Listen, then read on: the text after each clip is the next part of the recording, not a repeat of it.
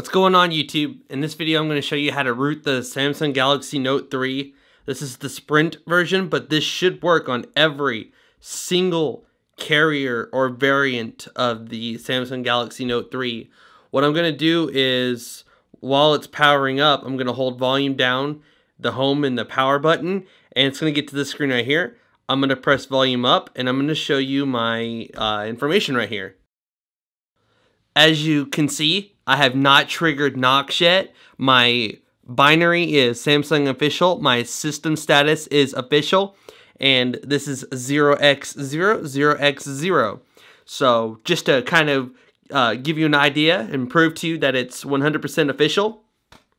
And right now we're going to take it and we're just going to hold the power button down for about mm, 5 to 10 seconds until the thing shuts off. You get a little line across the screen. You could either, or you could just pop the battery out. It's completely up to you. So we're going to turn this, this phone on and we're just going to let it start up and I'll be right back.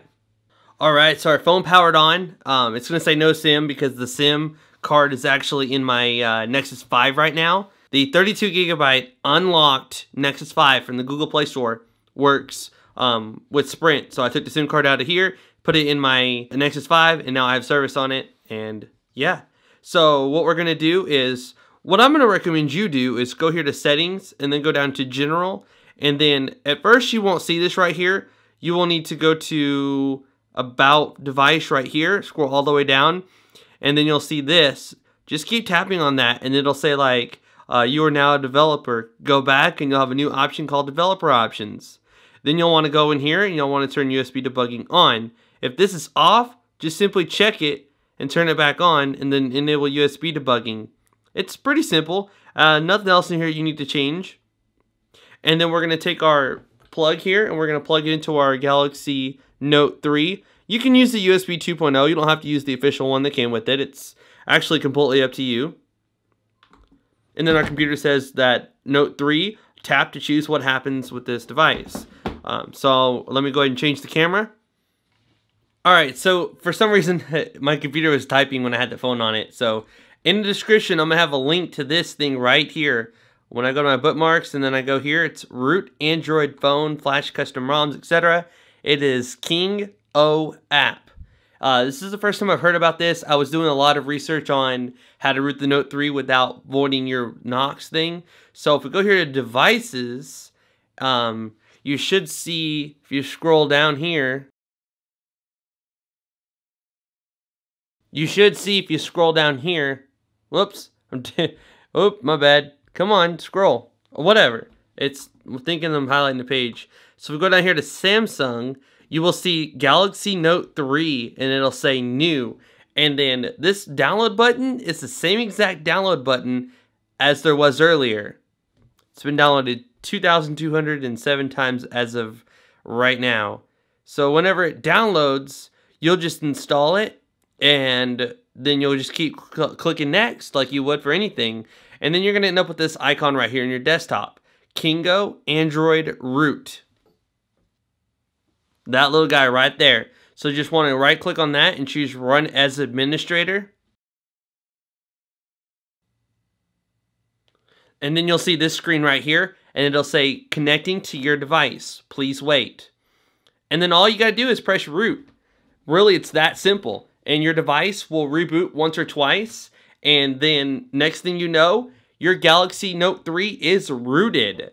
It's absolutely beautiful. Um, I actually rooted it and then it said that my system status was custom. And whenever I plugged it back into here, it said, do you want to remove root or do you want to root again? And I was like, remove root.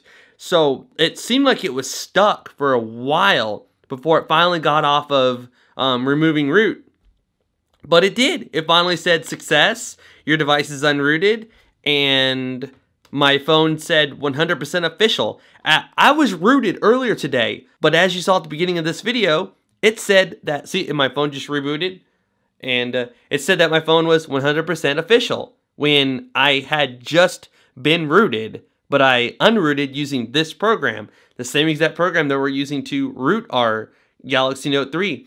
Um, actually, I used I tested this program out on my Sprint HTC One. I had a locked bootloader and it rooted my HTC One with the locked bootloader and my device does not say tampered when I go into the bootloader. You know, before if you flash custom recovery, it would say tampered. It does not say tampered. It's absolutely beautiful. So our device is um, powered on, and this thing saying waiting for device. Note 3, checking root status. Go ahead and just press OK, get rid of that little message there. It's not Halloween anymore, so I need to go ahead and change that. We should get a little thing here. Yep, ADB shell just granted super user permission. It'll see right there, ADB shell has been granted super SU, copying root files to your device. It's rebooting one last time. and It says root succeeded. Please reboot your device to make sure it's stable. So we'll let this finish up here. It should say Android is upgrading because it's installing a file to the phone. Just swipe it away. Press OK. Or it may not say it's upgrading. So we're going to go to our apps here. Um, uh, it's okay. I don't have service on this. Like I said, I put service on my Nexus 5. Uh, look at that app, Super SU. And then you'll get this little notification saying that an application has forced been forced to stop for unauthorized apps. You can get rid of that. There's actually threads on XDA on how to remove that.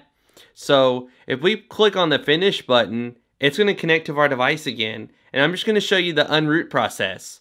Uh, I'm not going to do it because obviously I enjoy having root. See, look at that. Remove root. You press that, I would give it like five minutes and you should be unrooted. Like I said, it, it sat on removing root uh, on one screen for several minutes.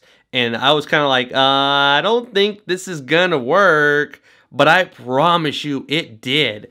So let me go ahead and restart this thing and show you how it, where it says custom instead of official. Remember, if you want to unroot, don't use Super SU to unroot. Uh, I tried that myself and it still said that my system status was uh, custom. So it knew that I had done something to it. So volume up. And as you can see right there, it says we are custom. I won't say it again, I promise. If you use this tool to unroot your device, that will go back to official. I posted on Instagram a screenshot of the fact that it didn't trip the Knox counter and it said custom. I unrooted, it said official. I rooted again, now it says custom. Hopefully you get the idea. If you want it to be 100% official, use this program. I wanted to go ahead and show you real quick that we do have root access by going to the Play Store and searching for an app called Root Checker. There's a free version and a pro version. Uh, I paid for the pro version, so I'm going to go ahead and use that one. And then install, accept, and then we're going to open it up here. We're going to press agree, okay, verify root, and boom shakalaka, we have root access. If you enjoyed the video, please give it a thumbs up. If it helped you root your Galaxy Note 3, please give it a thumbs up. If you just feel like being awesome, please give this video a thumbs up by clicking the like button below. I'll have links to follow me on Instagram, Twitter, Vine, Twitch TV, Ustream. Uh, gonna be unboxing the new consoles when those come out this month. Got some Nexus 5 videos, some NVIDIA Shield videos, some more Note 2, some more Note 3 videos. Um, got tons of videos coming very soon. So if you haven't subscribed already, please make sure you do so right now by clicking that red subscribe button below. This is What Would Josh Do, and I'm out.